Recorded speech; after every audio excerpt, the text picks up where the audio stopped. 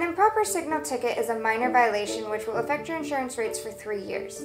You can get this ticket for failing to signal before changing lanes or making a turn, and for not signaling the appropriate amount of time before making the change of the lane.